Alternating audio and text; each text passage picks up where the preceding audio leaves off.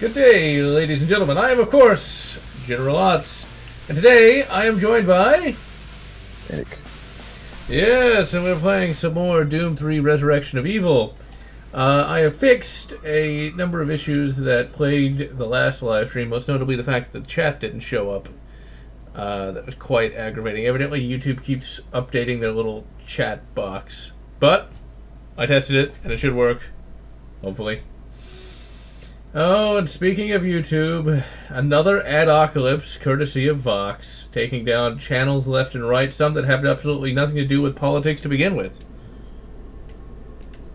Including Streamlabs for a while.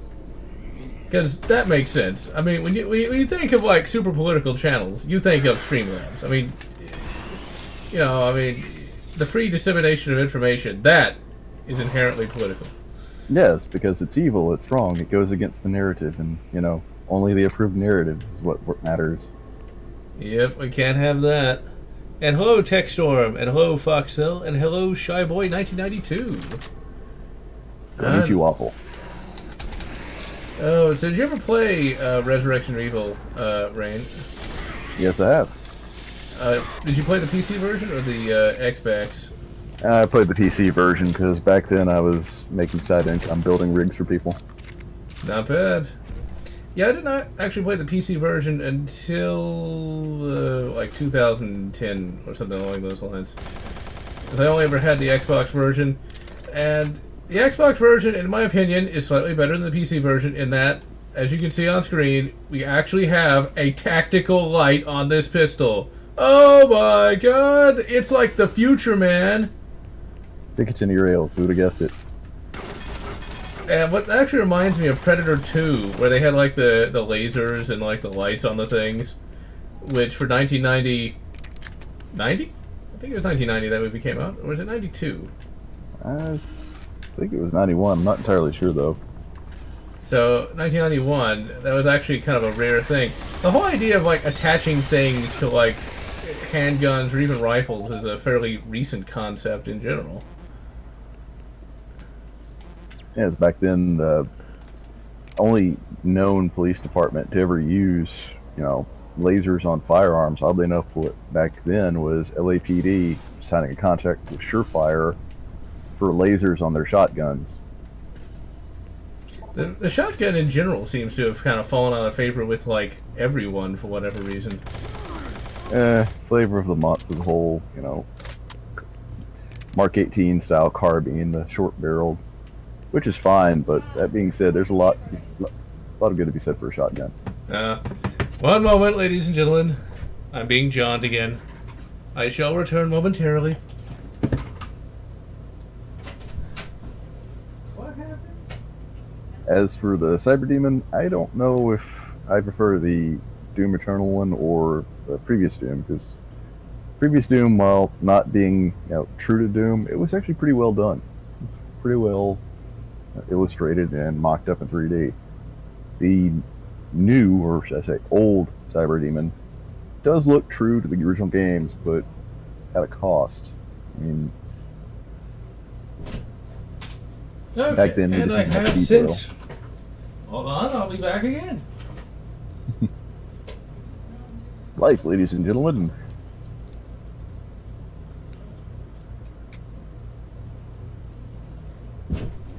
It never ends. The complexities of life, they do go marching on. That is true. Watching from Detroit, eh? Just be sure to be careful. Did Watch out for Robocop. Did they ever build that statue? I wonder. I don't know. There's supposed to be a RoboCop statue, and that just sounds awesome. Oh, poor RoboCop. It had a grand total of like a movie, and then all the others were shitty. That had some good comics. Well, yeah. Although one comic in particular that I'll never forget, because it was absolutely abhorrent. Even the title was stupid. RoboCop versus the Terminator. Now, it's not the one you're thinking of. It's one that came out of many, many years later. RoboCop versus Terminator. Kill Human. No, that's not a typo. That literally was the title. And it was a grand total of nothing. Literally nothing was actually achieved in the comic. And basically, John Connor dies, Robocop dies, everybody dies, and literally nothing is solved. It's kind of implied that like Robocop is like being controlled by Skynet, but literally it is a completely and totally plotless comic. Sounds like somebody cashed in. Uh, could have been. It's just, it was like the worst comic I've. Well, okay, it's the worst comic that I actually wanted to like that I've ever read. Obviously, there's much worse, but it's like. Uh, there are people who say that Frank Miller is bad, Linkara. Um, Frank Miller can actually write a fairly decent comic because the original RoboCop versus the Terminator was pretty good. That you know, Dark Knight one and two were good. So Well, there's that too. Linkara is generally full of it. I mean, you're. He wrote the freaking Lightbringer, and he's going to be the judge of what's good. Really? Wasn't that the one where like somebody got raped and then became like some kind of superhero or something? There's some kind of Oh yeah, it's screwed up on so many levels. I mean, well, There was some kind of weird thing like that. Also, you gotta love the uh, 15 FPS here. Like, this expansion was just pushing that Xbox past wherever, past its limits. Because I this guess, expansion was pushing PCs past its limits in this age. see, I, I didn't know that. So it's like, I'm surprised it runs it as well as it does. Then, now for me, Doom 3 had better graphics than Half-Life 2. Uh, I never was all that impressed with the Source engine. So, when it comes to like Half-Life 2 being like the greatest thing game of the year all years, it's like also we're playing Arkanoid because when you're on Mars during a demonic invasion, sometimes you just need to relax. As for the pistol being based on something, yeah, the handle is sort of based off of the Blade Runner pistol, but it it's not really based off of anything. I wouldn't think it's not. Ah, fuck it. I never particularly good at Arkanoid anyway, much less with a controller. That is definitely a game you need a mouse for. Or if possible, a spinner controller. That could work too. Although I've never actually used one of those. Eh, it's just a potentiometer with a knob. That potential, you know, I'm actually making a joke about that in one of the in, in the uh, next review, just because that is the silliest name I have ever heard. Well, I mean, not ever heard, but one of the silliest things I've ever heard. Is it sounds fake? Potentiometer? It's like, come on, you just made that one up. Yeah, it may sound like it, but no, it's it's a real thing. I mean, I've built a Tempest controller for my t- Atari Jaguar with one. if you want, I'll take photos. Well, I'll, I'll take your word for it because it'd just be a mass of like wires. Uh, let's see here. Have you considered streaming a modern version such as the Ultimate HD? Uh, I'm gonna be doing the uh, perfected Doom 3 version of Resurrection of Evil. And if there isn't a perfected version of Resurrection of Evil, then yeah, it will be Ultimate HD. And hello, Epic Jason. Uh, Black Hawk Down, Delta Force using pick reels. Uh, the earliest uses. Hmm. Now that would have been what, 2004? Black Hawk Down. Uh, well, here's the thing. Operation Gothic Serpent, what it's based off of, happened in let's say 1994. Oh, okay, I'm like a decade off. Wait, But remember, pre SOCOM Block One, so there weren't that many Picatinny Rail accessories. crap, crap, crap. This is why the double barrel works so well. Come on, blow him up! Ah, I didn't get to blow him up. Battle about Mogadishu was the closest thing to a Picatinny rail accessory you had really was Wilcox aim point mounts and scope mounts, and that was it. How long has that aim point been around? Well, they didn't use the M68 CCO back then. They used uh, the commercial off-the-shelf aim points. Oh. I cannot imagine how much those must have been back then, because that would have been a very new concept for the time. Well, aim point's been around since the 80s. It's it was mostly a hunting site beforehand. Yeah, that is a good question. You know, like, when did the red dot become, you know, such a common thing? Because I remember, you know, growing up, pretty much you had scopes, and that was it. Yeah, about 88 is when red dot really started taking off for you know brush hunting. But like I say, it's back then no Picatinny mount. It was you had Weaver rails, and that was really about the max. Well, semi strike that because you had the HKP cap system, but that required its own specialized set of rings. So. Hmm. Frankly, I don't know if our so that have been somewhat difficult. And yes, Jason, they did use Aimpoint 3000. Uh, let's see. I love how like, you know, Doom dude back here just kind of walks up here and says absolutely nothing. Let's get the computer started on the Also, her glasses look kind of silly, just to be honest. Another surge. All right. Still there? Dr. Cloud. It looked like safety glasses more more than anything else. All here, uh, amazing. Everything is right here. The invasion, the and sadly, we never really see Doom Dude again. Also, you gotta love that epic, you know, like I don't even know what that's supposed to be on the back of his like armor. The shoulder pads, pauldrons. There we go. It's like he's trying to outdo regular Space Marines. M1 Garand on Mars might have a lot of overpenetration. And hello, Turok Fire Seed. Uh, let's see.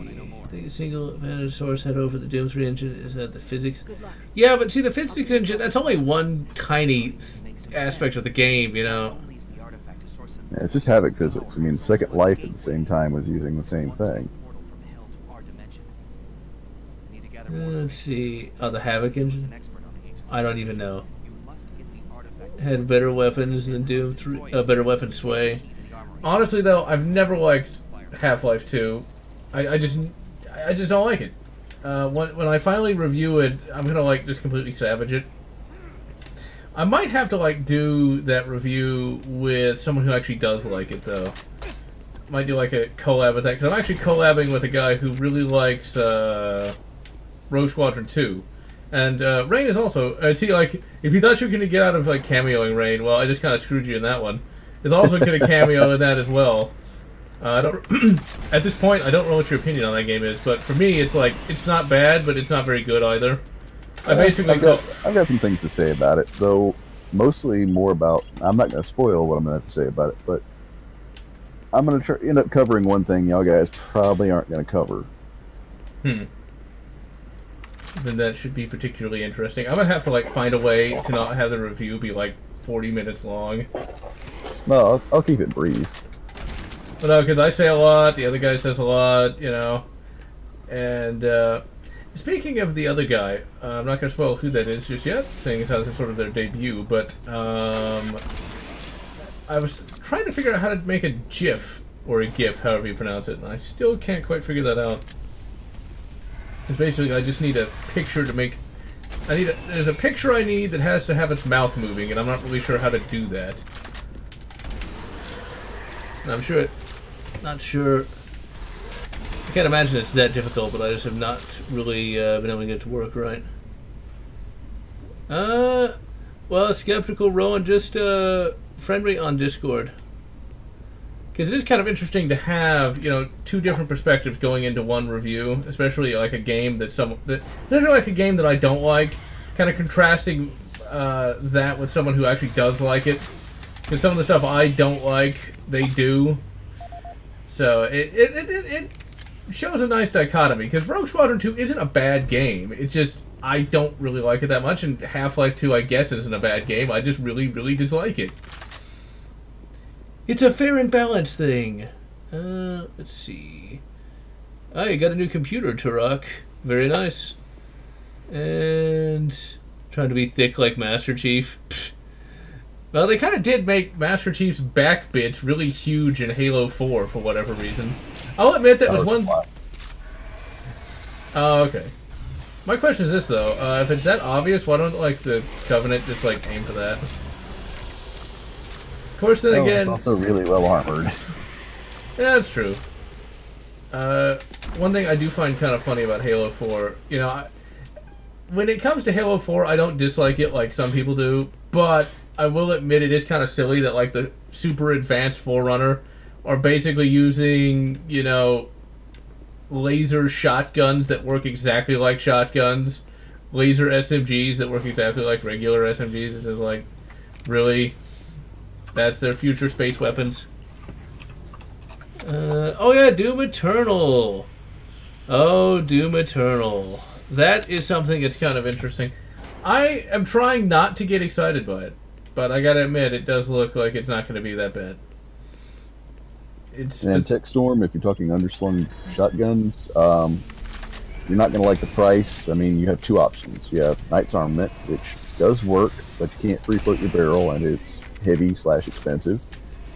And then you have a Canadian company called, uh, oh, shoot, I'm trying to think, uh, Lockhart Tactical. Sorry, brain fart. Which is considerably more cost effective, but you still have to fill out a $200 tax stamp. You'll be shipping in the mount and then buying essentially a Serbu Super Shorty and applying the $200 tax stamp to that.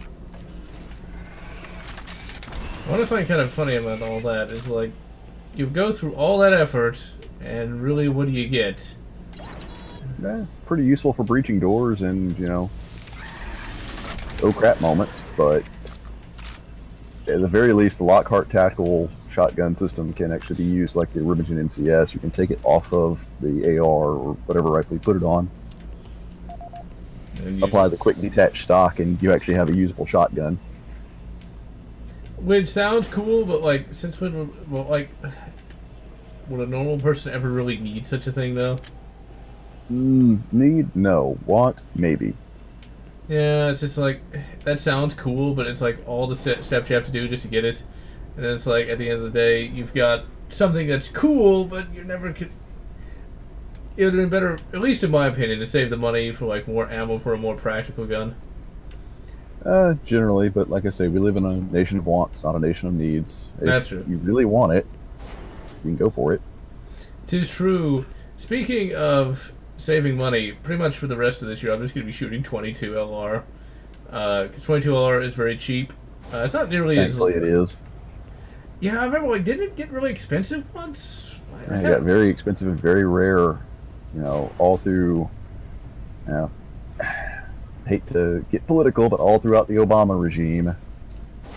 No, like, I guess I don't really remember that for whatever reason. I must have been focused on something else, but, like, how much did it get? Or I might have already Uh, had, like, a bunch, a like. box of 500, it got up to about 48 bucks. Really? Damn. Yeah. Uh, to put that in perspective, actually, the price is still pretty high. It was twenty five dollars now, but Uh, not as cheap as it, as it was at its prime, but eh, it's still not terrible.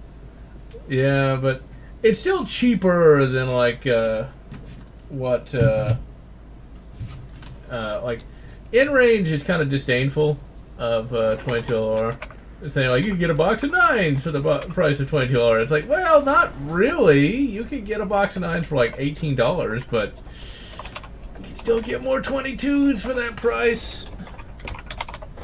Intel Xeon NVIDIA GPU, not too bad. Uh, you like drunk streaming? I have not actually even heard of that until now. Uh, I assume that's a popular thing, but I don't really see it. A lot of farms have ammo counters. Some did, like around World War II, but uh, Blood Fresh Supply that's planned for next year. Uh, B-Wing and Galactic Marine, not bad either. Oh yeah, Outrider. I actually got the Outrider not too long ago. Mossberg mod kit. Is that how I get the uh, mags? Oh, there's the Bullpup kit for Mossbergs, which actually works pretty well. The Bullpup's Unlimited kit, I can say I do like. Oh yeah, the uh, like super uh, futuristic looking thing that was used in the 80s for a lot of futuristic firearms. Oh no, that's the original Mossberg uh, Bullpup kit, which was okay, but really not quite as nice as the Bullpup Unlimited kit. Uh, I don't think I've seen that. At least I'm not aware of it. Wow, did I really just miss that door? Well, I am a genius. Uh, let's see. Blood source port. Oh, yeah. Hello, uh, Tim McAndrew. And it's going as well as it ever does. Uh, you know, I wouldn't say that Halo 1 is particularly overrated. Uh, I can see why some would say that, but I found it to be quite good. And I've never even heard of Trailer Park Boys. I have no clue what that is. I, I'm just gonna judge from the title. I'm assuming it's a bunch of idiots who live in a trailer park. Yeah, but it's actually pretty funny. Oh, like is there a plot? It's the It best way I can put it is think Ed, Ed, and Eddie, but for a grown-up generation. And they're hmm. not obsessed with jawbreakers. It's mostly about getting money and you know making their life better. okay. So is it like animated or something? No, it's it's live action. Okay. Also, this must be an absolutely just horrible sewer here. You gotta have a fucking environmental suit to get to not die. Oh, and just look at that frame rate. We're getting like 20 frames or 20 FPS at this point.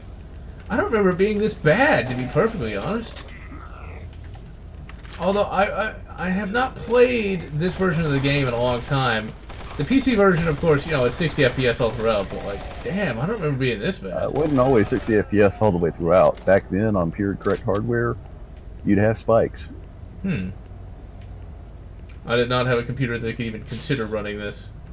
Hell, the computer I had back then, when this came out, couldn't even run KOTOR 2, so yeah.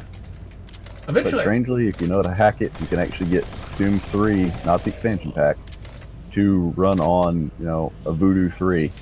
Not well, not well at all. In fact, it looks like hammered butt. well, my question is this: why, why exactly does the expansion pack run so shitty then? It's running the same engine. And It's the same engine, but it's also running more detail, larger environments, and more polygons. Uh, it's like just looking at it here, it doesn't look that much better. But No, but your length of draw is different. Your culling distance is different. oh crap, I need to like. Oh, I should probably just use the building artifact. Uh, let's see here. Me picking up the helmet. It's not the BFG edition. You know, I never even liked the idea of the BFG edition, to be perfectly honest. Uh, let's see. In 64 frame rate, it's not that bad.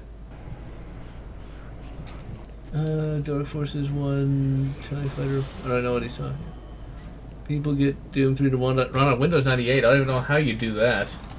Uh, like I say, you can if you know how to hack it, you can patch it using the uh, 3DFX wrapper and get it to run on essentially a Voodoo 3 in Windows 98. It's not easy, it's not recommended, and it looks horrible. The fact that it's possible at all. I gotta admit, that lighting there does look really cool with them having the uh, head mounted flashlight. You know, it makes sense that the frame rate is now literally almost in single digits. But it's actually pretty impressive for this time. Now, I think. Where was that? Jason Armstrong is asking, how long have we known each other? I think you. We. Uh, Rain and I met in a really. I wouldn't say really weird, but in a, in a non-standard way, let's say. Uh, he sent me a graphics card. I think is that 2015 or 16? I don't remember. I want to say it was 2015. Okay, so since then, although we didn't like start really talking till I think 2017. I think maybe. I don't. I think I'm not sure. Didn't start talking steadily till like 2017. Yeah. Okay. And so yeah, that's a sizable amount of time actually. In fact, you along with Rage are some of my lo- longest of termed friends, believe it or not. Oh crap! Crap! Crap! Because as I've said in other streams, like I didn't really get like consistent friends until 2010 at the earliest. It's like I would talk to people on like a short-term basis, and then they'd go away, you know, stuff like that. So it's like, it's a whole new world of possibilities. Technology, I made a video about. Video about what? Oh crap! Crap! Crap! Crap! Oh, I'm dead. I am so dead. Yep, there we go. Uh, now I am going to be reviewing uh, Dark Forces One. No, not Dark Forces One. Dark Forces Two. Uh, next month. I actually started working on that. Speaking of Voodoo, I'm actually uh, using a Voodoo wrapper to get it to work. And I swear, I got it to work so much easier back in 2013 when I did my LG uh, CGR review of it. it, literally all I had to do was just get a patch for the disc version, and it worked just fine. Now, for whatever reason, it's like I had to get that, and it still doesn't run that well. And maybe it's my memory, you know, like kind of crapping out on me, but I could have swore, I could have swore I was running that in 60 FPS back in 2013. Maybe I'm maybe I'm remembering it wrong, but I'm getting at best 30 FPS with that thing. Well, remember, there's been a lot of software changes since then. I mean, there's games I could I could run at 120 frames per second just fine, like Revenant. that I'm having a hard time running now without glitches. Well, that is aggravating because Dark Forces 2 is a really good game. I think the reason why it's not as well remembered as uh, uh, Jedi Knight 2 and Jedi Academy is just because it is so hard to get running. And getting it running well is not easy either. I'm Like, I'm actually trying to play it as vanilla as possible. Now, I am running in 1080p, which is definitely not vanilla, but I didn't even apply the. There, there's a mod. You, there's a bunch of mods you can get, but one you can get where you actually uh, can have high detail graphics on all the time. Now, since Dark Forces 2 came out in 1997, you know the graphics hardware at that time wasn't particularly amazing, so distant textures wouldn't be rendered or would be rendered in like like extremely compressed. Uh, so it's a mod that fixes that. Uh, I didn't know. I was actually talking to somebody at work today about this. Uh, the concept of the mouse scroll wheel is actually a fairly recent concept. I did not remember that at all. Yeah, in the early 90s, we did not have that. In fact, we really didn't have it a lot until the 2000s. So it's like in uh, Jedi Knight 1, uh, you don't even have access to the scroll wheel. It makes you look up or down. So, yeah. That is always kind of confusing. Like, you go to, like, switch to a different weapon, and you end up looking straight up. Oh, crap. Really? Could have spawned it behind me. Uh, soundtrack to that 1998 3D fighting game. Bio... Oh, Biofreaks. I remember that. Vaguely. Yeah, the funny thing is, it was never fully released the arcade. It was only released in, arc, you know, arcade test. Huh. I guess at that point, though, when that came out in the late 90s, arcades were pretty much dead. Not really. I mean, I worked with Namco up until 2001. Hmm. And they were dying. They weren't dead. Well, no, I guess it just. Midway just didn't have the budget to do that then. Didn't do well in arcade tests. They basically stated that, know, it didn't earn enough. So Uh, they just decided to say, okay, let's take the assets and turn it into a console game. I remember playing it a grand total of maybe three times on the N64. I don't remember if it was good, bad, or indifferent. I just remember that like it had a really ridiculous story where like corporations took over the world and they had like the Biofreak tournament to like determine who won all the money. I don't I don't remember anything about it other than something that, like one or two of the stages. It's probably been over like two decades since I've last seen it. Or last saw it, whichever is the uh, proper grammar. It's a live stream, we don't have to have proper grammar. Uh, at least not according to modern conventions. And, And tech, why not an underslung Mossberg mod kit? It's because if you're not going with uh, Model 88, if you're going with a Model 500 or 590, you have to figure out a way to actually activate, deactivate the safety. It's tang mounted. It's not, you know, mounted right by the trigger guard. Which I kind of I kind of like that about the Mossberg. Although the uh, crossbolt safety has kind of grown on me over the years. Uh, both have their uses. If you're using a pistol grip, then the crossbolt safety makes more sense. If you're using a traditional, you know, either bird's head or English style grip, then the tang safety is king. Uh, let's see, too many games in Oaks, PA, Pennsylvania. Uh, I may have gotten a better job, but it's not that good. It's Trust me, I'd love to go to too many games, but right now I'm trying to get a car back up and running. So yeah, you know, actually flying to another state, especially Pennsylvania of all places, is not an easy prospect. I will say this though: for there's one arcade that will get me to go, even though I really don't like the city at all. that will get me to go back to Chicago, and that's Galloping Ghost. No, i've never even heard of that. That's awesome arcade. I. That's the only reason you're getting to go back to Chicago outside of the food. Yeah, the only thing I know about Chicago cuisine is the uh, Chicago style pizza, which isn't even my favorite kind of pizza, so I literally have no Oh. reason to go there. Uh, the Polish sausage and yeah, Polish food there generally is just awesome. That, kind of that being said, though, you can make Polish food yourself. It's not that hard. Uh, speaking of which, I was actually thinking about that today as I uh, made a birthday cake for my mother. Uh, a cake that you get at the store is never quite as good as the one you make at home. Well, if you're good at it, I should say. And like cakes have gone up like to a ridiculous extent. It's like if you want like a slice of like fucking cheesecake, you gotta pay something like five dollars, and it's never really good. At least to me, it isn't. Well, it depends what type you're getting. If you're getting anything other anything under Sara Lee grade, it's not going to be that great. That being said, the cheesecake actually isn't that hard to make. I can teach you how to make that. Uh, I've got some recipes for it. I just haven't done it yet. Because I would like to make my own at some point.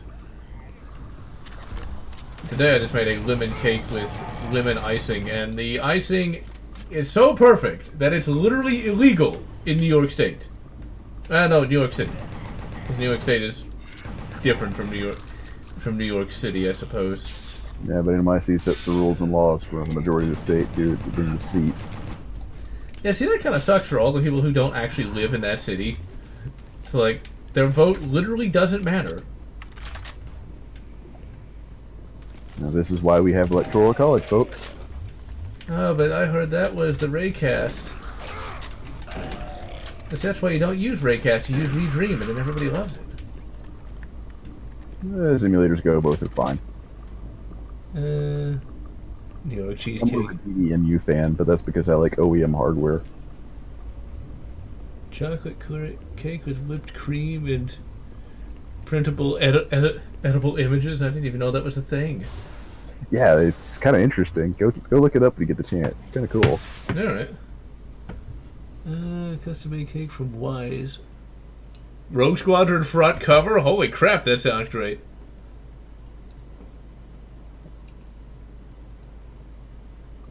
Pumpkin chocolate cookies. I'm not a big fan of chocolate, to be perfectly honest.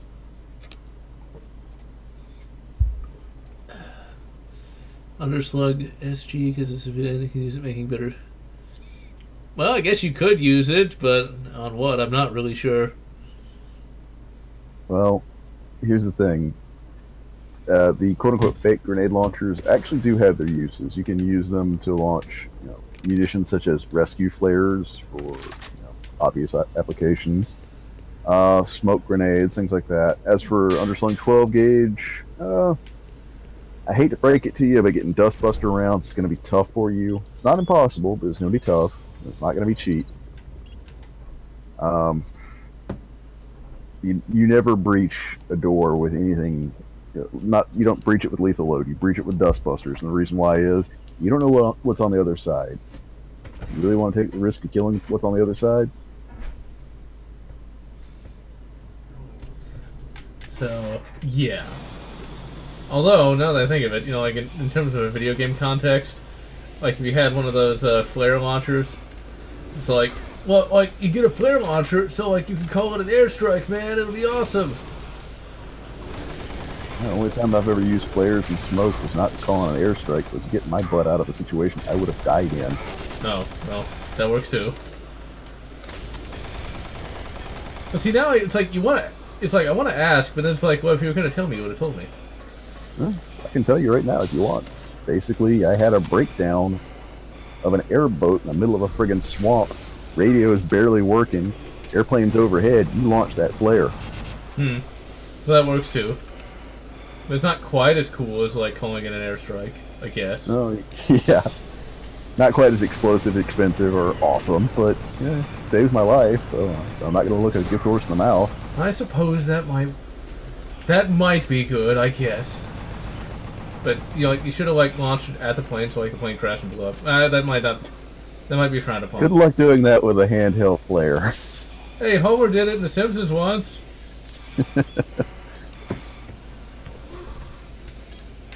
Okay, good. That isn't a bloody loading door. Sure- Flechette? Uh, no, flechettes aren't essentially nails. They're basically, best way to put it, darts. Hey, you! Over here! Hey, somebody who's actually alive. These things can't be alive. There are more bots around, but I've sent them into the tunnels. Dude, why don't you have any eyes? He doesn't need him where he's going. Yeah, he's gonna be going to uh, They're on your the feminist parade. Stay close to them. No, the women's march. There we go. You just threw him into a scenario worse than hell. Yeah. Uh, all those protests and marches that you see these days is like, is there anything more pointless? The movement behind the protest. Well, that, that too, but it's like, is there anything more? All the various protest movements are, are like, I want to say they're hilarious, but people take them so seriously. It's like, and if you ask them why they're there, not one of them have a clue. That's because they're drones. They don't think on their own. They only think as a herd. Yeah, see, like the Borg are like, you know, oh, look, look, we got a little more intelligence than that. A little.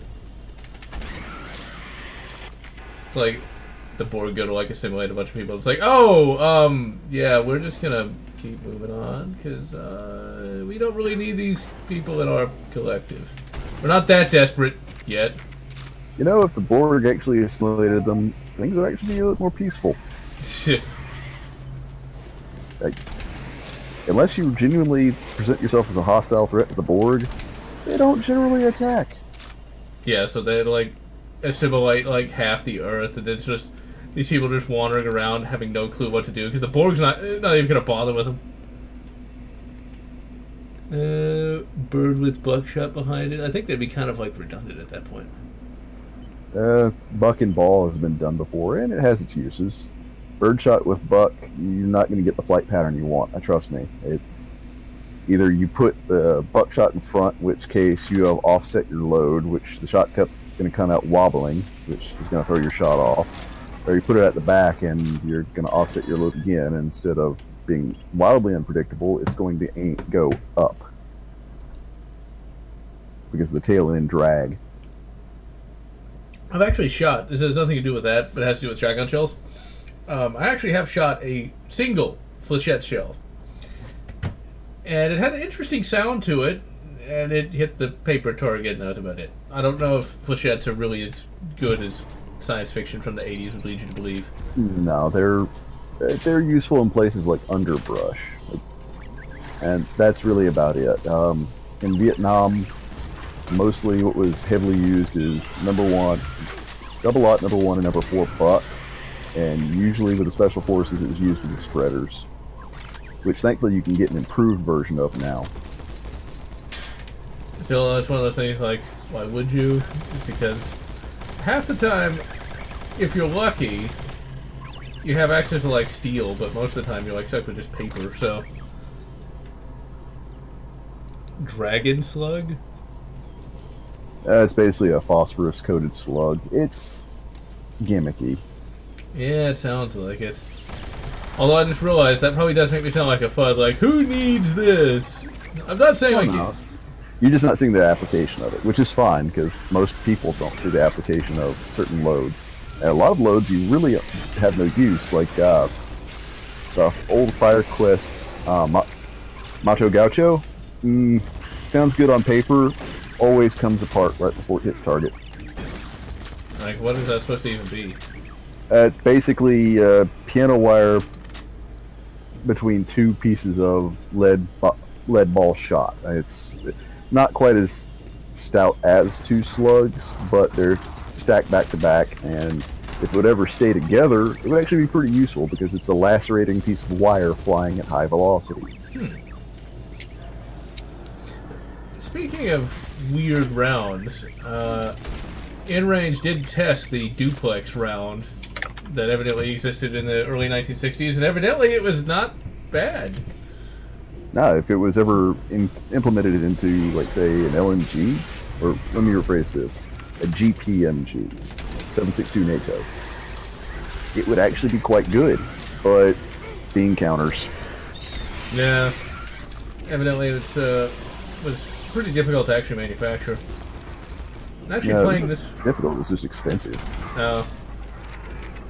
And if you're trying to make like trillions of rounds, yeah, that would be somewhat difficult to make cheap. And Elmer Fudd. Now, for those who do not know, Fuds is, is actually a uh, pejorative term used for a certain type of gun owner that has no problem with like ARs being like banned, so long as they keep their you know wooden steel hunting rifle. Problem is that you know you give in a little, they're gonna take everything. Yeah, and it's still just a brand of people trying to tell you what you can have and not have, and it's like, well, who are you to tell me? And honestly, you know, a wooden steel hunting rifle is not like worthless. Actually, quite useful in some applications. Yeah, it's the thing is we shouldn't be having an argument about what types of guns are good or bad because they're not. They're all tools. They're all good. They're all bad. It's you can have your preferences. That's great. I dig me some, you know, classic H and H Safari guns. That being said, that's not going to stop me from using, you know, whatever semi-automatic rifle of decent capacity I can get my hands on to defend myself and my loved ones. Now, that being said, there was somebody I knew once, many years ago, that really hated the idea of the uh, uh, of the elephant gun. Like, who needs an elephant gun? It's like, really, really. They having even- worked on them and having used them in you know hog hunts, they're surprisingly useful. Oh damn! I used that just as he went invincible. Also, they spelled berserk wrong. Just saying. Yeah, Now, one thing I always find kind of funny about boss fights in just about any game is the fact that, well, they always have to have that weak point. So, like, let's say you know you're you're you're Satan, right? You're trying to create a new demon to like you know kill people.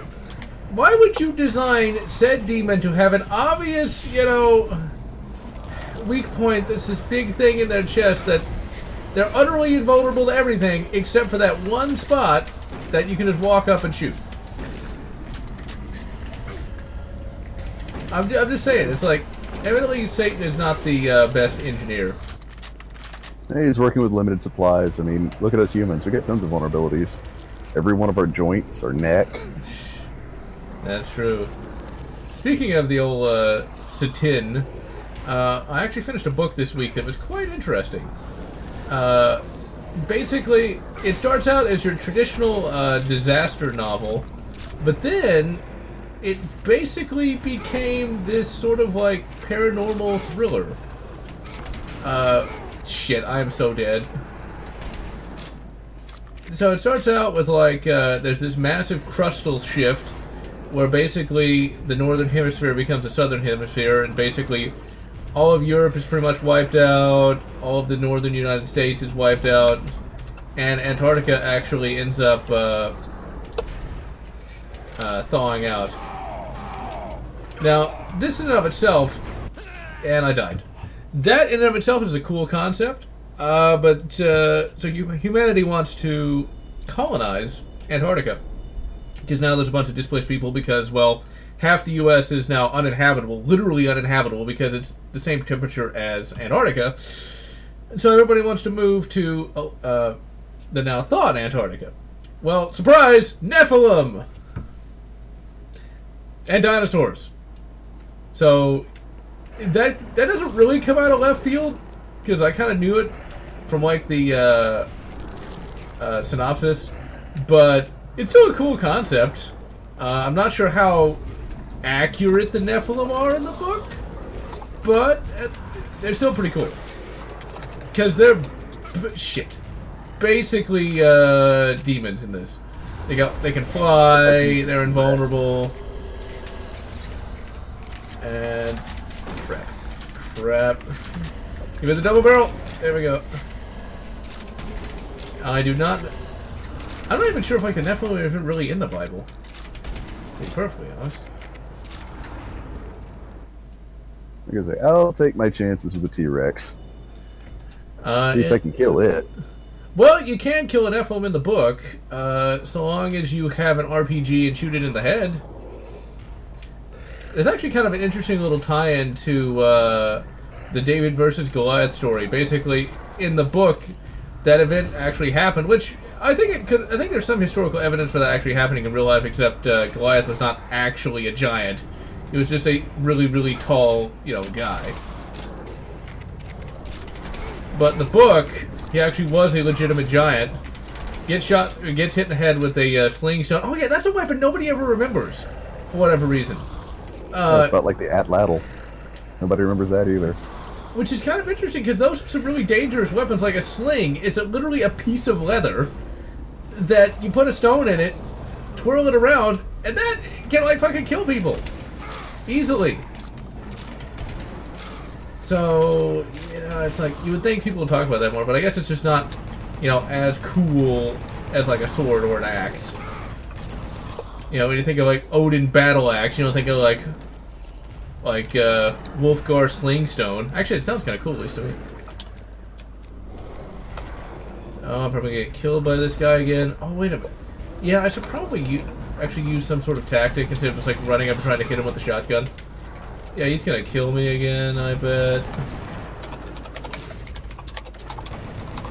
No, I'm not trying to stream. I actually don't die nearly this much. At least that's what I'm gonna say. Even if it's not 100% accurate. There's the thing in the blobber there. Organize a trip where you physically met each other. There's the rock out. That would be very difficult. Just because I think that Rock Island auction house is like, what, in Maine? Yep. Yeah, it wouldn't be that difficult to greyhound it. Hmm. That or if, well, you're you're actually closer to uh, an Amtrak than I am, so you could you could take the train. Really? I didn't even know that. That'd be a lot easier. I'm more comfortable. Yeah, I didn't even know I was even close to something like that. Oh crap, he's gonna probably end up killing me, or not. Just keep running. That's a possibility, although honestly, if we were gonna do a meetup, which I actually should think about doing at some point, since we have been talking for what, like four years at this point? Uh, Closer. So, yeah, but I'd rather go do something a little more fun than just watching a bunch of people buy guns that neither one of us could afford, even if we pooled our money. So, yeah. And the shotgun from Phantasm is awesome. Not super practical, but rule of cool. Uh, well, there is the Chiappa triple threat, so. Red Foreman or Al Bundy? See, that's one of those things where I don't think they'd actually end up fighting. Although you realize with the there, there would be a significant age difference between the two of them, though. So by the time Al Bundy is Al Bundy, Red Foreman would be like what in his 80s or something? No, because uh, Red Foreman was uh, pushing near 50s in the 70s show, and Al Bundy was pushing his 40s in Married with Children, which, if it was early Married with Children, they they would probably end up being drinking partners. Yeah, I could see that happening. Of course, you know that does bring up an interesting concept, though. The future of of a sitcom, not like the future like out of universe, but in universe. Like, how long would Red Foreman actually live? Because if he was in his fifties in the nineteen seventies, would he still be alive today, or would he just be really, really, really old? Mm, I don't think he'd be alive today, but he would have been kicking up until probably like 2002. So Hmm. Al Bundy should theoretically be alive. well, the actor still is. Well, yeah, but I mean, like the character in universe. Now that's something I, I have thought about, like the future of The Simpsons, as in like what would happen to the characters in that, because they're just kind of like stuck in like the uh, the same ages. Like, what if they actually realistically aged? Like Bart would be like almost in his forties at this point.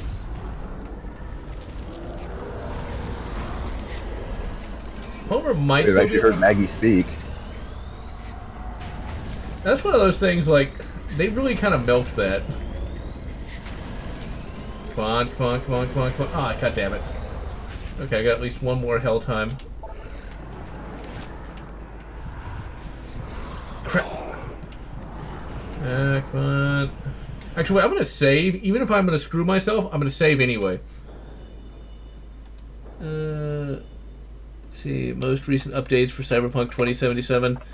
Uh, I'm probably not gonna end up playing that, just because knowing me, with how little time I have now just to sit down and play a game, uh, that's gonna be a big game. I haven't even finished, you know, Witcher 1. And I know that Cyberpunk 2077 is going to be a long ass game because it is, you know, a CD Projekt Red after all. Well, it will be, but that being said, if it's written anything like what Pondsmith has done for his past, you know, expansions to the series, it, it's going to be kind of semi-episodic. You'll have break-off points. Hmm.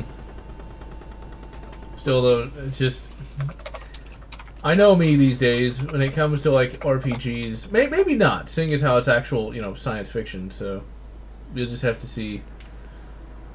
Uh, but Keanu Reeves, as I think you mentioned, his name was like Johnny Silverhand. Yeah, there you go. I See, I have no idea who that is because I never got, I I never even knew hardly anything about Cyberpunk 2077 until the uh, Spoony videos. Uh, let's just say he's one of the bigger movers and shakers in the universe, and he ended the fourth corporate war in a rather explosive way. Hmm. Drop of the nuke, eh? Maybe. Though that being said, right before the end of the fourth corporate war, he was gunned down pretty hard, but nobody ever found the body. So now we know what happened. Marine, So if you don't find the body, it doesn't count. we must get the artifact to Delta Boober Labs Shooter by using Lunar the Lands? experimental Never even heard of that. mission. I have the information Oh yeah, William Gibson's Alien 3. Uh, I actually got both the comic and the audio drama. I've not listened or read to eith- read either one of them yet. Uh, just really haven't had the time to just you know devote to actually enjoying both of those things. I do plan on doing a review of potentially both next year, depending on time. That's the thing. It all depends on how much time I have. Because I'm constantly doing crap these days the Handsome collection. Don't care about Borderlands. Never particularly liked it. Uh, Green A-wing fighter, and I think well, Rain. I think you were in a real bad dudes episode. I, I forget which one, but I think you were in one. I was I did the recording for uh, Saturday and for Death of Some Salesman, and if we can ever get the recording time right, there is the episode one re-edit, which mm, mm, I don't want to give away. Yeah, I saw the uh, script. So yeah, better you than me. That was an interesting watch. I'll put it that way. Yeah, I don't think there's gonna really be much aliens stuff getting released sadly anymore, just because, well, Gearbox has it, I think, and yeah. Yeah. Well, yes and no. Um, Creative Assembly is making another Aliens game, but here's the downside: it's mobile. so they're not actually making a game then; they're just making, you know, a microtransaction. A cash cow. Yeah. They're making a, uh, you know, money printer. But at least there is isolation. Isolation is awesome. And that's coming down next year. That is a perfect Halloween video to do. And this is actually a really impressive game. I forgot just how impressive Resurrection of Evil actually was. And below the. Okay, who is shooting at me? Uh, let's see. Uh, it was actually Rage who came up with the uh, Real Bad Dudes concept. Uh, I think he came up with that idea about two years ago. And it's just finding time to record and getting all getting everyone's schedules, you know, working. Because that's the interesting thing about the internet. You can have multiple people from multiple states, from multiple time zones, and potentially even multiple countries coming together to make videos, but it's still very difficult and like for one person it's like three in the morning for another it's like seven at night so actually getting everybody uh, recording at the same time is not an easy prospect. Uh, one of the casts we actually had a fan editor from, I think it was Brazil, if I'm not mistaken. Uh, and I think like for him it was like really early in the morning, whereas like it was night for us. I almost forgot. I was actually part of the Moontrap recording, which I gotta admit, I actually genuinely like that film still to this day. I, I'm glad I was a part of that. Uh, I don't remember much about that movie now. Was that the one with like the like they found a robot chick? She was like naked. Yes, that's the one thing I remember. She was like on some kind of spacecraft. Uh, basically, lack of a better term, alien invasion based on the moon. Very much inspired the Strogg. Oh yeah, that one. Okay, the one that was kind of like um, virus but better. Yeah, pretty much. You know, it's frustrating is how hard it is to find a copy of Wolfenstein. Check eBay. I found a whole bunch of them. In fact, I'm thinking about getting one of those for the review of that, just to have in the background. Take a Skytrain for me. As Uh, for YouTube channels, mine's long since unused. Uh, I may come back to it, but right now I just don't have a viable camera. Hmm. Well, you could always just get a webcam. Yeah, problem broke. Oh. Yeah, I could send you one if you uh, wanted one. Well, right now I'm trying to get this car back up and going, and from there, uh, get back into finding good work as opposed to side work. Uh, yeah, beauty cars. Although the car I have now is quite good, so uh, for those of you who are looking for a good first car or a car just to have, you know, a, car, a good work car, uh, the Nissan Versa, at least the 2010 one, is excellent. Uh, great gas mileage. Uh, they're generally well constructed, so yeah. One thing I always like about small cars is the fact that they can fit just about anywhere. And in fact, I actually forgot about this until just now. So coming back from work today, you know, I'm on the freeway. Freeway. Ugh, I'm getting onto the freeway. Ugh, I can't say way. Highway. There you go. The motorway, as the British would say. Um, there's this big truck coming off of my right. He's trying to get into my lane, and he does not see me at all. And he's he just keeps coming. I just kind of have to floor it, uh, so I'm not literally crushed by the guy. But being in a small car, it's not a big deal because oh crap! And he still didn't die being in a small car, you know, th- there's a lot more room for me to get past him than if I was in something a bit bigger. Also, I got to complain about two things. Two things. Now, while I am indeed a native and very proud Texan, um, one aspect of Texan culture does annoy me. And that, of course, is the big truck. Now, I like big trucks, and I cannot lie. But the people who drive them, some are good, most are bad. Most don't even know how to drive a big truck. Oh, it's really funny seeing them get stuck in mud. Uh, what isn't funny though is the fact that they do one of two things: they drive recklessly, or they, or in the morning. Uh, I have to get up really early uh, to go to work, and so in the morning, every big truck that comes, well, maybe not every one, but most of the big trucks that come by, they've got their fucking high beams on. Fuck those people.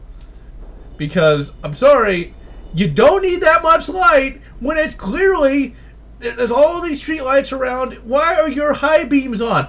And another thing, another thing. This also happened last week. I'm to complain about this. This is me complaining about going to work hour now. Okay, so fucking Tuesday. Tuesdays are always shit. By the way, I don't know what it is about Tuesday, but they're almost always shit. And this Tuesday was no exception. I got stuck behind a train. Now that's bad enough, right? And like this train is like inching along at like a mile per year, and like it straight up stops. It straight up stops. But then, but then, the person directly behind me has their high beams on the entire time. Now, that train was there so long, the sun actually came out. I mean, it, it's a weird concept, especially for me, but the sun actually comes out, and he still got his fucking high beams on. You do not need that much light when the sun is literally out. Why? Anyway, moving on. Stupid is, man. It's it's just gonna happen. As for high beams, everybody, just use them when you're out in the country. Don't If you got you know street lights every 25 yards, there's no need for it. Okay, I'm not behind, stuck behind a train. Okay, it, you know, it's fucking going along. Basically, I was stuck waiting for a train. We'll just say that. How about that? Hey, I've been up since five in the morning, and I'm doing my fake yell. Because if I do my real yell, I'm gonna like just completely rip my throat apart. God damn it! I blame the chat.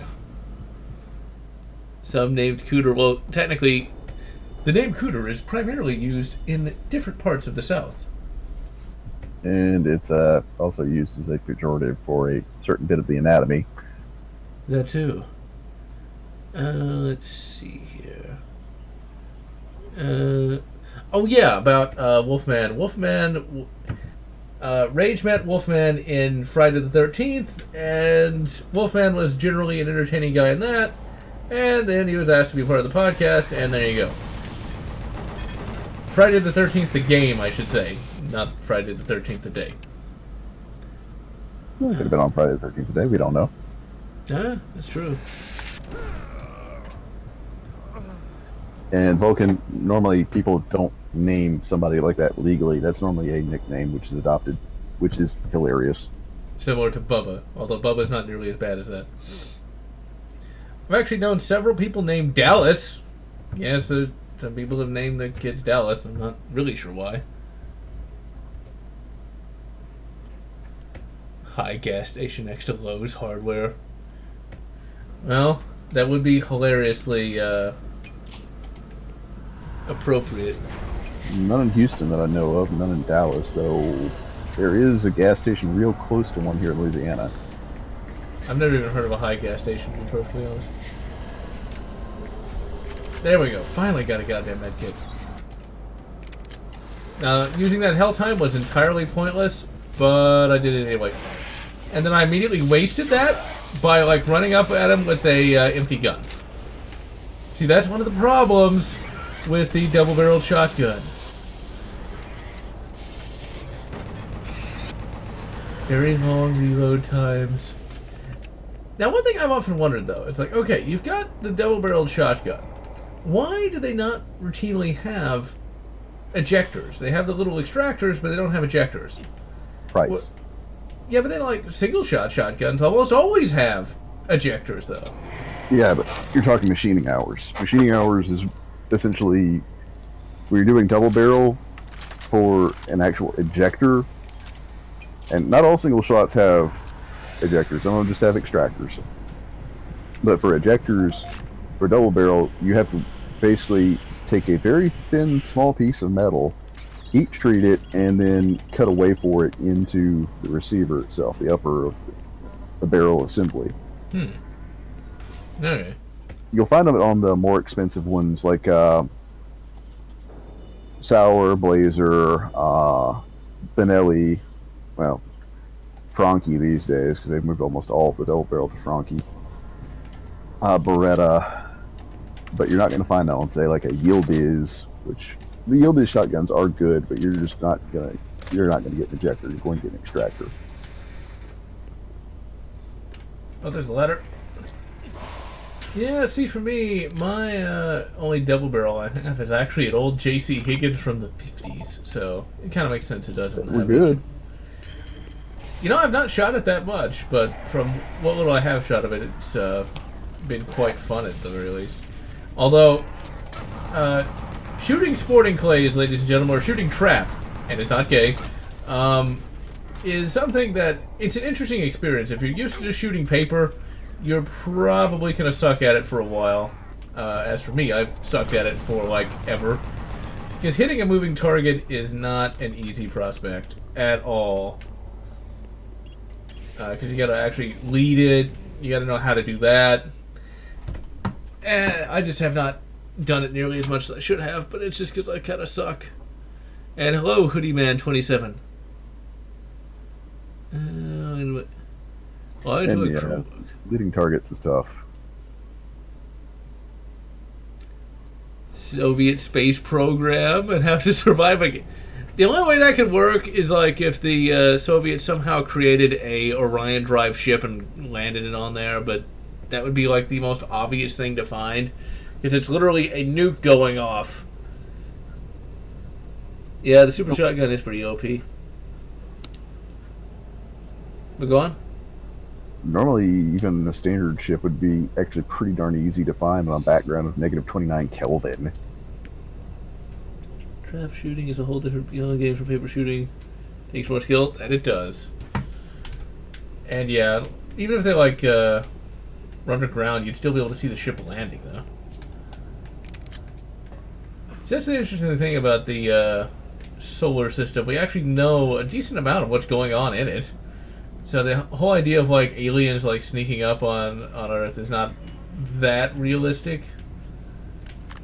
Not unless they have some sort of technology which, you know, number one, like this, the stealth ships in Star Trek, the only reason that worked for them is because it's, you know, thermoptic camouflage. The, the big part being therm, thermal. Spotting, you know, it, something even so much as two degrees is stupid crazy easy when your background is negative 29 Kelvin. And also, let's be reasonable. Star Trek is not particularly well versed on the sciences. Uh, no, but they, they do get some things right. They get a lot wrong, but they get a few things right. Uh, let's see, one shot reload weapons. Doesn't play so fast as classic Doom. Yeah, that's true.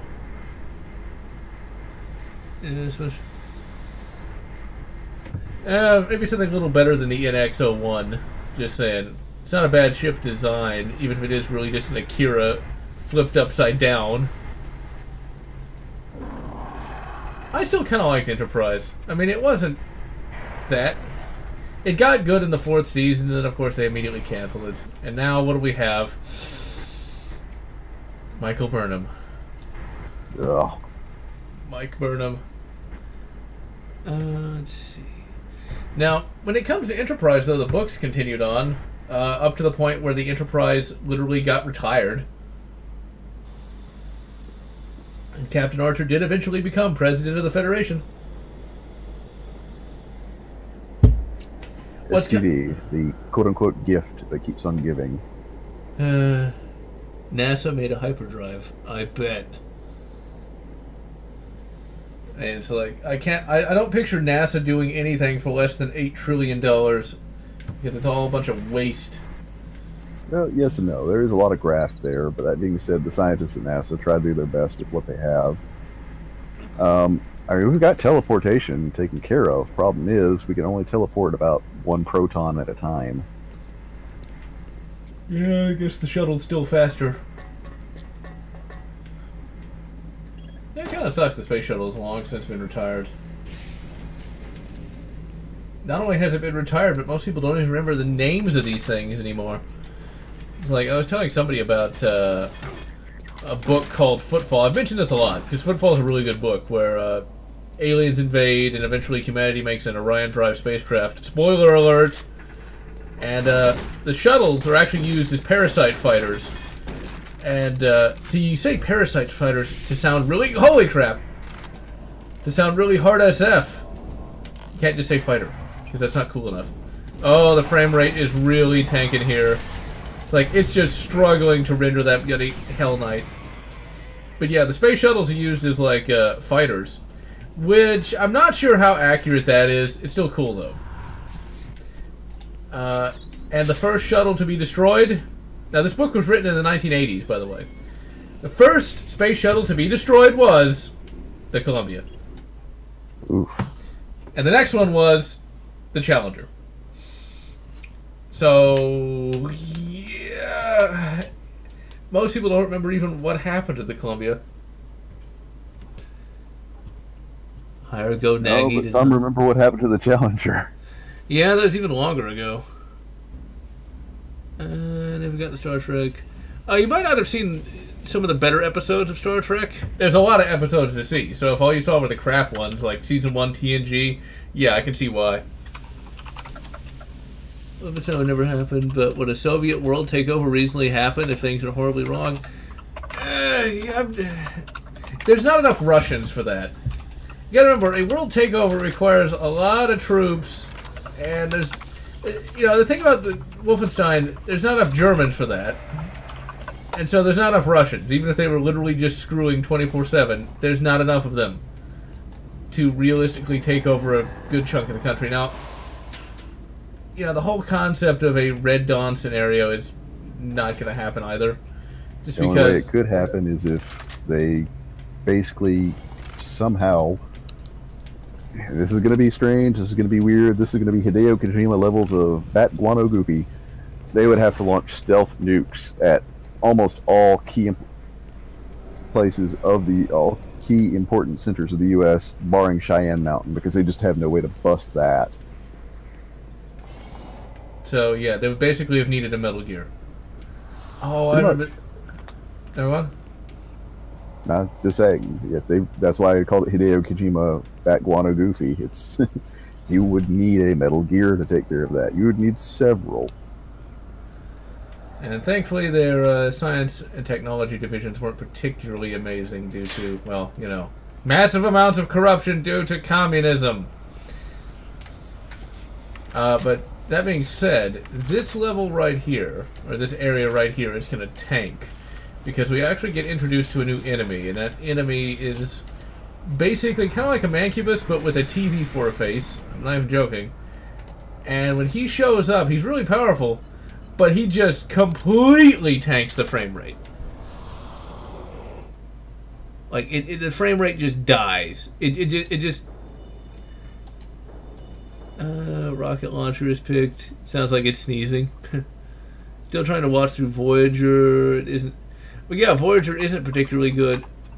Uh, it's not terrible, but it's uh, yeah. I can see why you'd find it boring.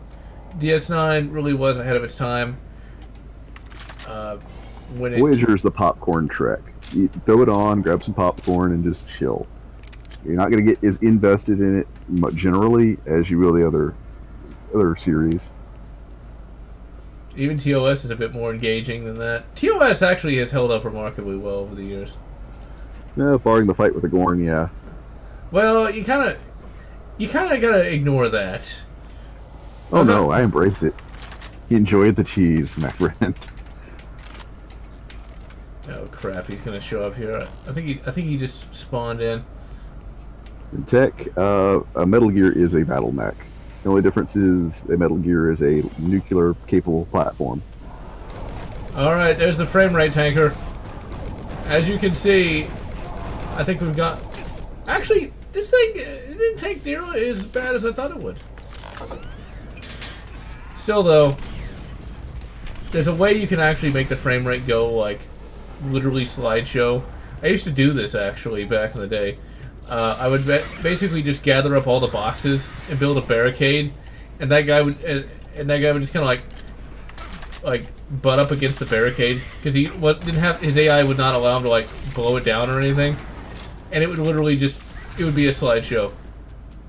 You could actually get Halo One to turn into a slideshow as well if you just keep bashing the elite and making more and more or a dead elite. If you bash a dead elite, eventually you'll have bashed out so much blood that the frame rate will just tank to like single digits. Yeah, it's because you essentially put so many decals, but nobody back then thought, hey, maybe we should have an upper limit of decals. which was a bad move. Guess people like me exist. Uh, yeah, I've seen that Locked and Loaded show, and I also saw the Mail Call show back when it used to be on. God bless you, R. Lee Ermey.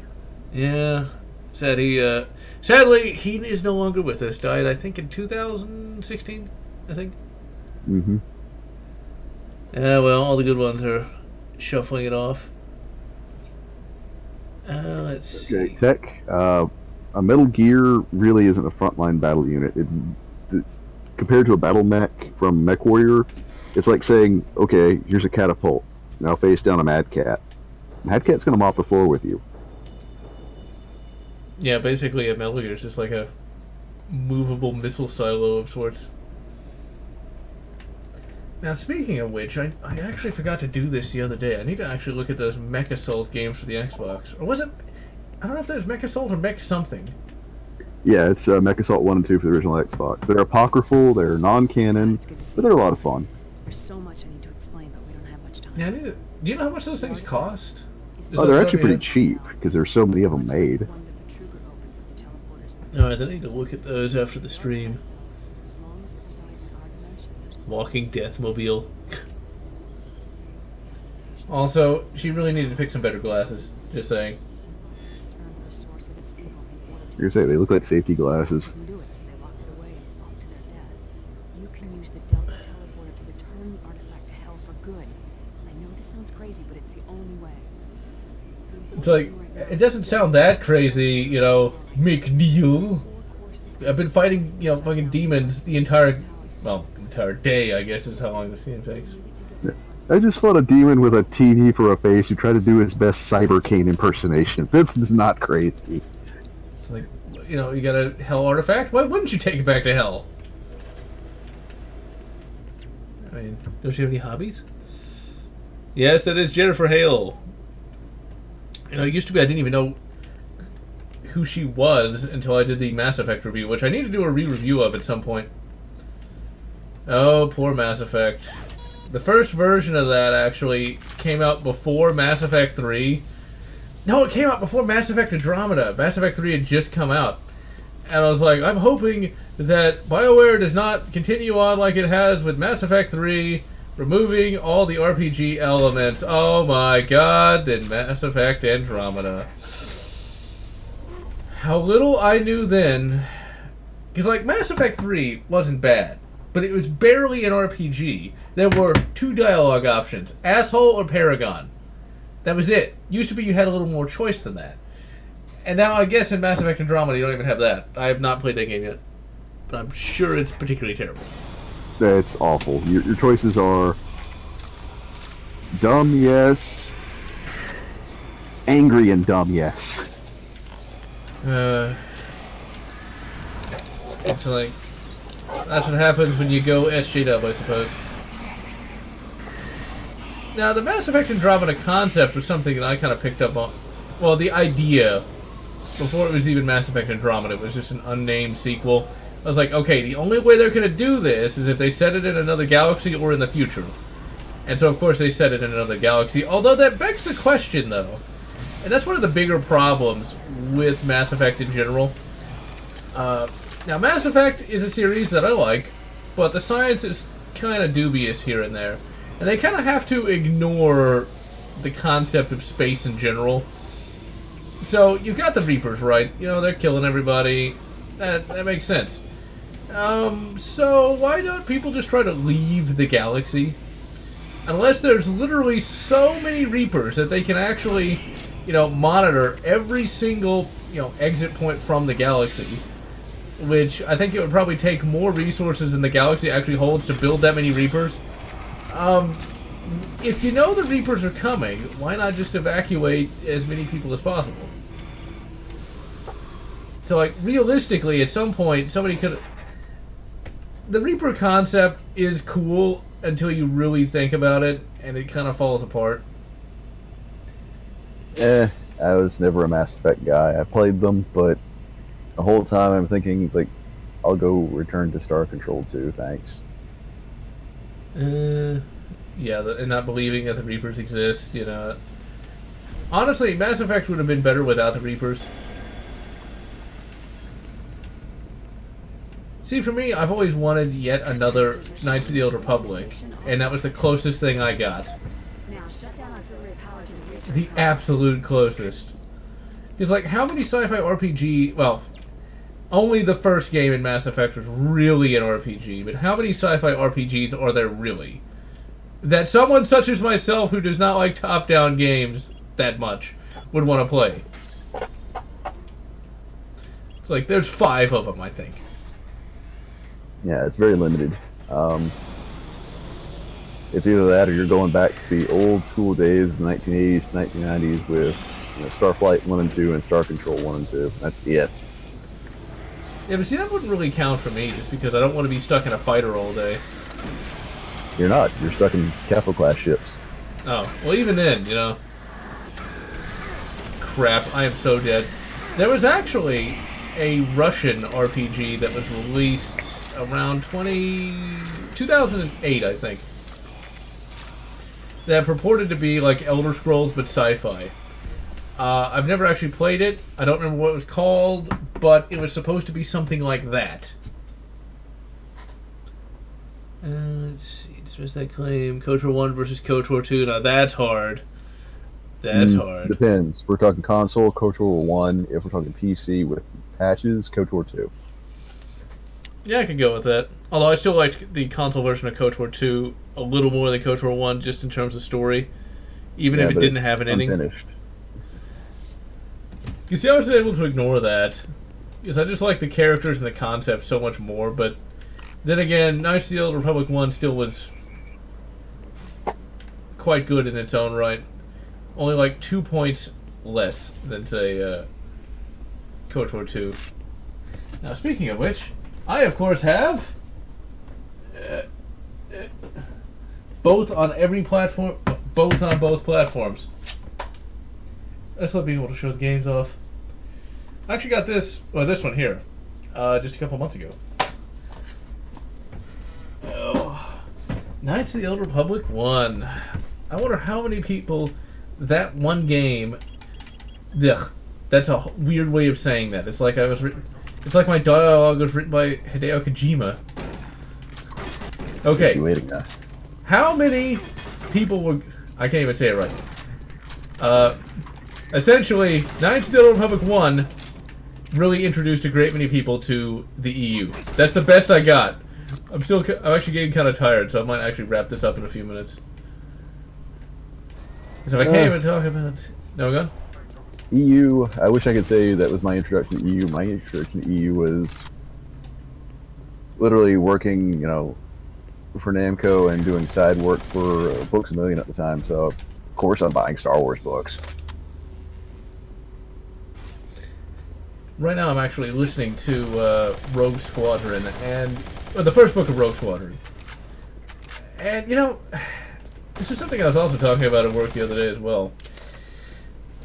Reading a real book is very different from reading, you know, just a uh, self-published EPUB off of Amazon. And it's like, it really sucks that a lot of these real writers, you know, don't really, well, write anymore, or anything they do write is kind of crap because when you actually have a book written by a real writer, it's actually really good.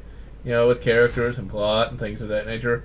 It's like Rogue Squadron. They'll talk about, you know, some of these uh, technological concepts. They'll give some of the tech specs about the, uh, you know, X-Wing here and there. But, you know, it's mostly character interaction and things of that nature. Whereas a lot of these, you know, self-published things, they'll go on and on about the ship and things of that nature and they don't have characters. They just have, you know, Space Captain Man, and he kind of does the Space Captain stuff, and that's it. Well, the problem is that sci-fi and fantasy writing, as in terms of the publishers, if you ever go to the writers' conventions, it's really politicized. I like you think what we're seeing in video games and tabletop games and all that's bad. Oh, you have no idea. It, it's uh, going to get worse if things are left unchecked. And you know it's gonna get worse because we live in, as they say today, the clown world, and I don't, I don't suspect that it's gonna actually change anytime soon. Because these people are nuts. Yeah, there is sadly no peak insanity. This is going to be an ongoing war until either they finally relent, or, or such small numbers that they are ridiculed constantly, or we're all going to be facing down another Stalin-esque future. It's uh, not going to be good. Yeah, I don't think we have to worry too much about that. I mean, they might try it, but it's like, wouldn't they have to, you know, like lose weight and, you know, learn how to shoot and things of that nature? It's that. Oh, they're not the threat. The threat is you know globalists and you know their forces. Uh, I know nothing. SJW. I know The nothing. SJWs are nothing, but you know Uh, there's an entire world which can you know be I, paid for. I worship Google. All hail um, Google guy, whatever his name is, and Jeff Did you just assume their gender? Yes. Speaking of which, there was something quite hilarious I read the other day. Um, evidently, some SJW got really pissed off when the comment was made that men and women can have kids. They can procreate with one another. A strange concept. Darth Maul times two. No, you would not want it to be the Mirror Universe, Turok Fireseed. They're just as bad, but from a different, but from a different angle. I have The not only seen. difference in the mirror universe is, you know, the, the art of the well sculpted and well trimmed goatee is a lot more preferable to the unkempt, you know, bird's nest beards that they tend to like so much. Yeah, you, it's kind of weird that the SJW actually has, you know, like a phenotype at this point.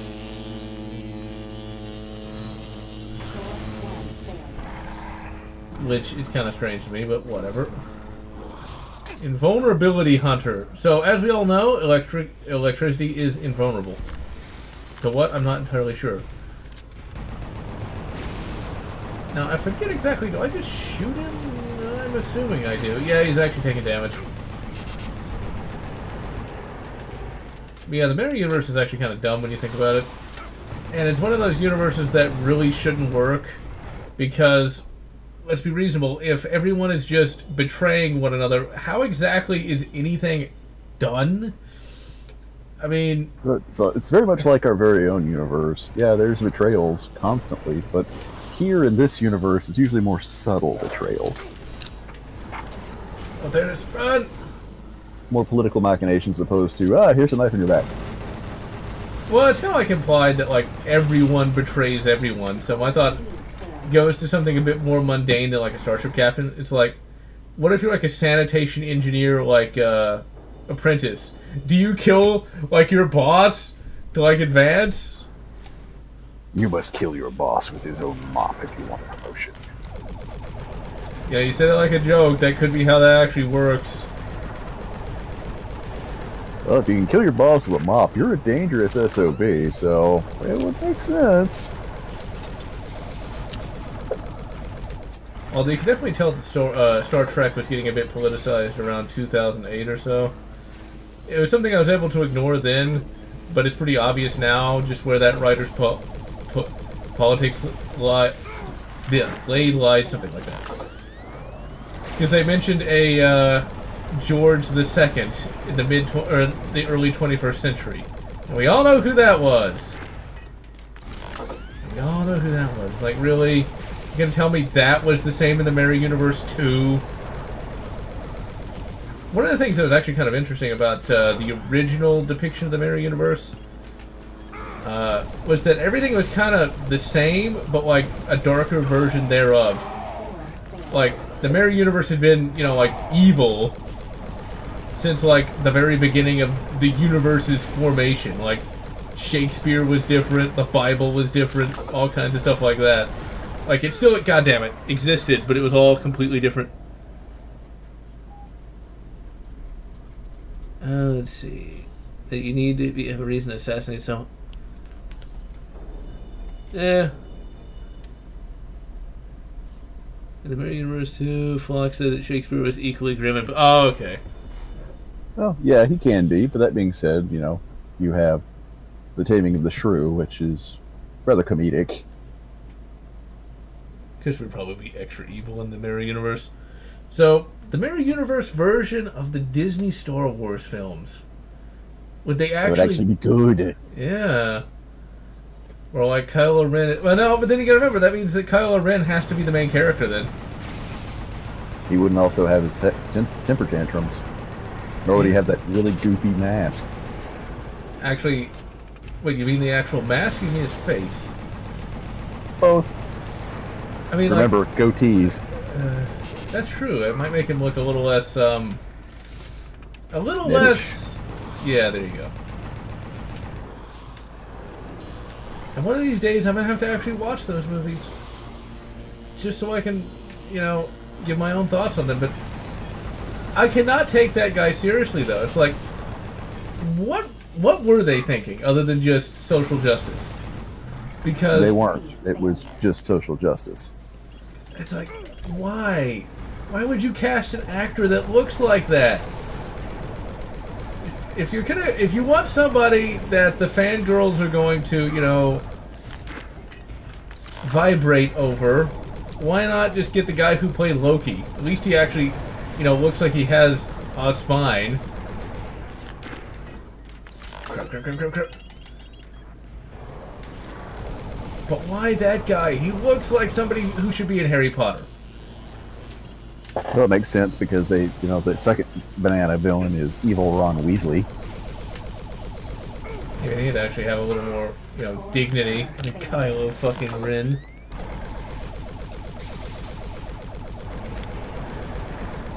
Hey, you know, Shinzon at least had some dignity.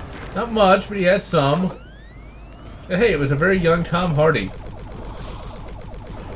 And yes, that was Tom Hardy, believe it or not.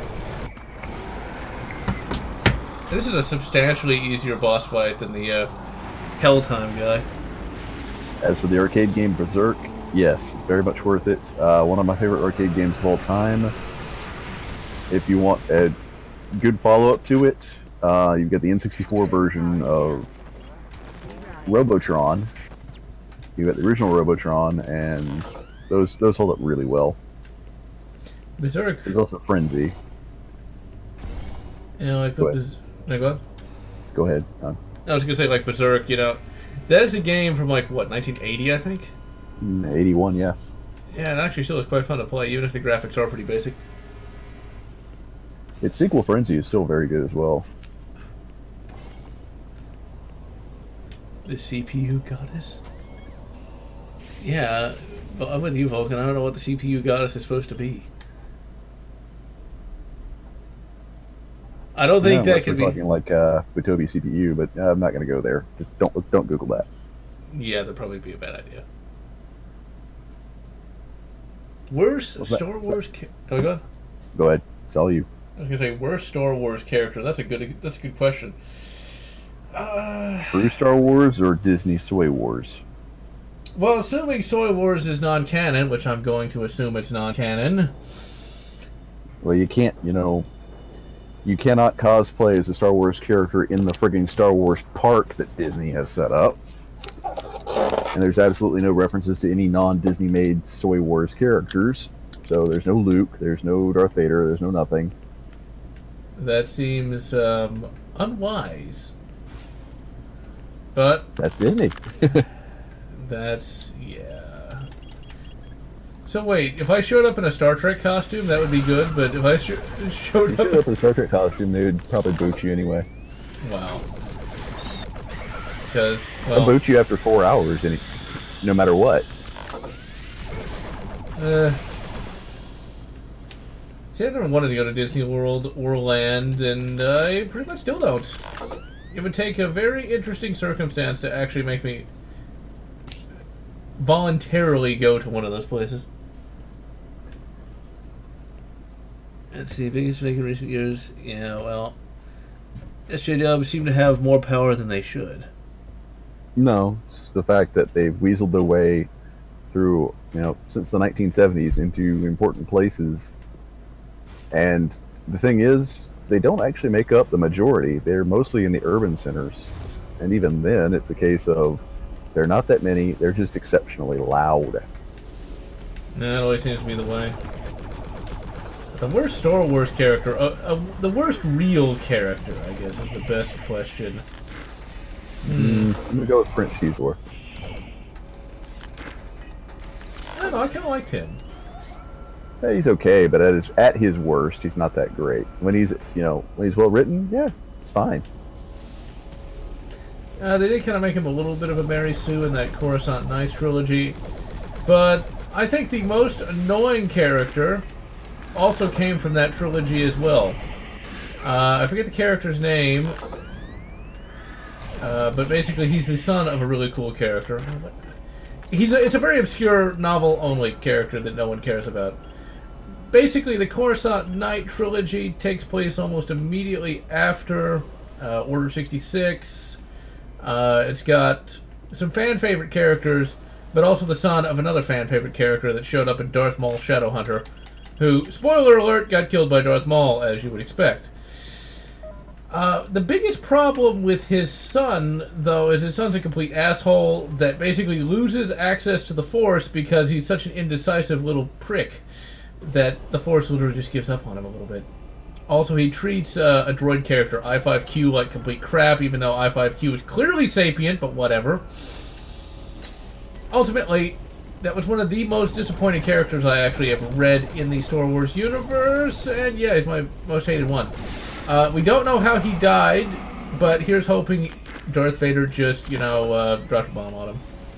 No final epic lightsaber duel. He literally just got bombed. Massive force choke. I was about to say fork choke, but that would that would be hilarious. Using the force to you know force push a choke, a fork into somebody's throat. That would be brutal. A well-deserved fate.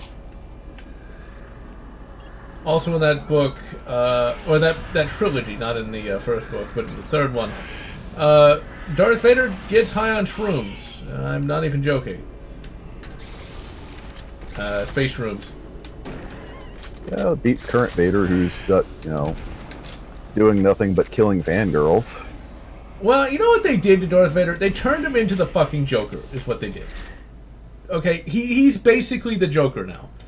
Complete with a Harley Quinn that, if, that eventually is killed. I mean, it's like, really? Thankfully, it's only a one episode thing, but yes, they they tried to. They basically tried to adapt Mad Love into a one off Star Wars comic book, which, while funny, kind of went like a fart in an empty elevator. No one cared. See, like for me, it would have pissed me off if I actually read it, just because the idea of Darth Vader killing, you know, somebody who is effectively harmless is completely outside of his character.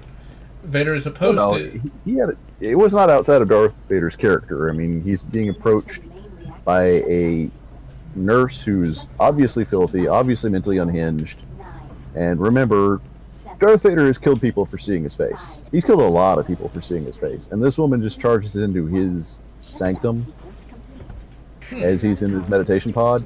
Yeah, it, it, it fits his character, but the, the entire comic was just not that well written. No. So I always thought of Darth Vader as more of like a. Uh, he had some sort of warrior's honor. He wouldn't kill an opponent weaker, you know, sort of like a coronate kind of thing. Well, an older school kind of coronate kind of thing. And I did not need to read that, Tim McAndrew. I'm not going to repeat that. Because I look over there and it's like, oh my god, I did not need to know that about Chris Nope. Chan. All the nope. And see, thankfully, you guys, the fans watching this, um, you'll get to see that. Oh yeah, you get to see that. You you know what we're talking about. It's like um, have I? I have streamed Blood. Just uh, do a basic search. You'll find it. Legacy canon, EU and AU. Yeah, it could work. Ex- expanded universe, awful universe. Disney is the awful universe. Uh, that works. You know, it's kind of funny though when you look at the uh, new Wars compared to the new trick. They both suffer from the same problems. Of let's let's assume they didn't have any SJW crap. You know, let's assume Rey doesn't even exist for a moment, and you basically have the Star Wars equivalent to what they did with Spock. Now, herein lies the biggest problem with both of those universes, irrespective of any SJW stuff you know, New Trek is just so skin deep. It's just a Trek shell. You know, none of the technology really makes any sense or is in any way consistent. None of the stories really are in any way consistent either. And That's what I call Tino. T I N O. Trek in name only. well, it's not even that. It's just more of a base concept. You you can say the same thing about you know, New Wars. None of that has any real internal consistency at all. You know, one minute you've got the First Order who has like five guys. The next minute they've got Star Killer Base, which literally makes no sense in any way, shape, or form. The time it would take to build that thing would basically. The idea. It would of- take a decade, at the very absolute least. And that's assuming you have armies of millions. And even then, it's like, okay, you can destroy three planets at once. What's the point of this? Uh, It's it's kind of like you know the uh, transwarp transporter from uh, In the Darkness. It's like, why is this? Why does this exist? how does it exist? How do you go from you can now do transwarp beaming, and I actually I got even more problems with uh, Trek 11 anyway. It's like you know Scotty's like you could beam something 100 miles. Really? We just saw him beam something a lot further than 100 miles, Scotty. You know they were doing that in Enterprise. Shouldn't you know that? alternate universe, alternate awful universe does work. Totally forgot we're talking on a YouTube video. Yep. You know, I don't know why everyone really likes uh, Quentin Tarantino anyway. He's not that Uh, amazing. He's not amazing, but he does some okay directions. Uh, he's produced some important films. Now, is he my favorite director? Oh hell no, not even close. I guess my problem is like I've seen a lot of his films and I'm like they're pretty good, but I think it just comes down to, to marketing. It's like when you hear the name, oh, it's got to be good, right? It's like you know, Inglourious Basterds. It was a fine film, but I didn't think it was like the greatest film ever put to cinema. No, he he's nowhere near that list. To do that, he's going to have to produce something. He's going to have to produce something akin to you know the absolute classics. He's going to have to outdo Seventh Seal. He's going to have to outdo Citizen Kane, Lawrence of Arabia. I mean, he's going to have to just pull a miracle out of absolutely nowhere to be on that list. And yeah, I'm not really seeing that happening. Uh, Thrawn Trilogy and Dark Empire. Yep, I agree with that one. And let's see. A gray Jedi villain trying to control the light and dark side of the planet. I think there was actually a story about that. It sounds somewhat familiar. You know, my biggest problem with the Jedi just is the fact that, like, once again, let's be reasonable. How exactly would such a small force of people actually control an entire galaxy? They're not even really that powerful. That's something I'm going to mention in uh, the uh, Jedi Knight 2 or, the Dark Forces 2 review. Uh, one of the one of the Dark Jedi you fight is named Boc. He's basically this hunchback Twi'lek, and I'm like, what good is this guy going to be? I mean, it's just like, what, what good is this Dark Jedi actually going? What what purpose does he serve? A berserker in hand-to-hand combat? Okay, fine. And see, that's the thing. Jedi are seen so inconsistently as well. It's like, okay, one minute they're just swinging their laser sword, next minute they can like pull a starship out of orbit. It's like, okay, I guess that's why. Why, why, don't, why don't you start with that? Why, why the laser sword? I get because it's cool, but it's like. Yeah, that's the one line I never liked about the. That unfortunately stuck since the prequels is laser sword. It's never laser. I know. I just say that to be as a pejorative. I know. It's just even Lucas got it wrong. So like, course, then again, if it was like actual light, would it be clear? Well, not clear, but invisible, I should say. Oh no, there's different. There's different things which could cause you know light pollution, but A Citizen Kane reboot named Citizen Kane. it would never fly in Hollywood. They would want to change it and you know hire Jar Jar Abrams to direct it. It's yeah, bad idea. Uh, popsicle lightsaber. Samurai wizards. They're not really like samurai though. Well, sort of. I mean, a lot of the ideas are drawn from samurai. A lot of the ideas are definitely drawn from Akira Kurosawa. Actually, you know, it depends on which uh, which era we're looking at. But yeah, you're right because the Old Republic Jedi are pretty much stand-ins for uh, uh, samurai. Right up, uh, right up until the very end of the Republic. In fact, the end of the Republic, they act a lot like the. Uh, well, I'm gonna sound like a fucking weeb. They act a lot like the samurai did uh, during the uh, Meiji Restoration. Because that's what they were based off of. Crap, crap, crap, even the cinematography that Lucas employed in Episode Four, Five, and Six was taken from Akira Kurosawa movies such as Ran. It's, So you go from that to some idiot throwing a tantrum because a droid stole a freighter. you know, not having known that was going to happen, you know, it's like okay, he's gonna pull out the lightsaber and kill the guy. That's that would make sense. No, he's just gonna cut up his computer because I, don't. That's something that still just doesn't make any sense to me. Like somebody got paid for that. Somebody got paid for the awful fight scenes. You know, I haven't actually quite a few those. people got paid for those. Trust me, you have yet to see the worst.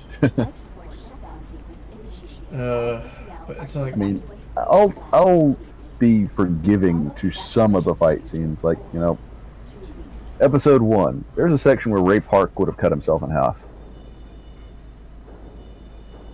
There's the the amazing whiff kick, which was done because Ray kicked a little too high and would have given given a certain actor a concussion.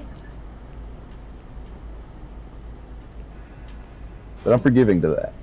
But I can't be forgiving to the fight scenes in Soy Wars. They are ten shades of absolute awful. Uh, also, uh, Carrie Fisher got old. I was very surprised by that. I guess I shouldn't be, but damn.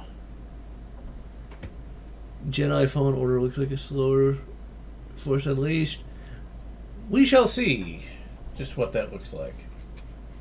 Because I do intend to give it a try. Evidently, Chris Avellone is going to be doing the story, so maybe it won't be utter crap.